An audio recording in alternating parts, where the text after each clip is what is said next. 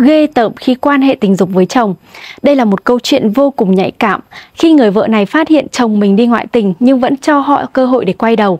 Nhưng đến khi hai vợ chồng ngủ với nhau, người chồng muốn quan hệ thì người vợ lại nói ra những câu vô cùng đau khổ, nhục nhã và xúc phạm đến người chồng, giết chết cảm xúc của đối phương. Đó là tôi ghê tởm anh, anh thật là bẩn thỉu, tôi không còn cảm xúc với anh nữa, anh đừng động vào người tôi mà bẩn người tôi ra.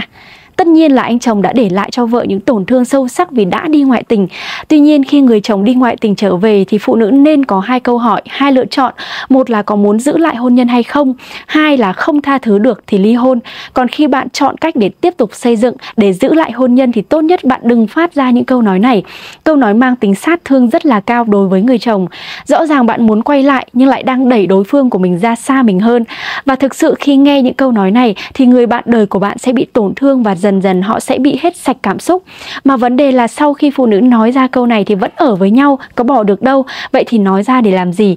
Thà rằng không cho họ cơ hội để quay lại. Còn một khi đã cho cơ hội rồi mà vẫn đay nghiến người ta hàng ngày thì sớm muộn cũng sẽ ly hôn. Nhưng lần ly hôn sau này sẽ tổn thương hơn trước rất nhiều.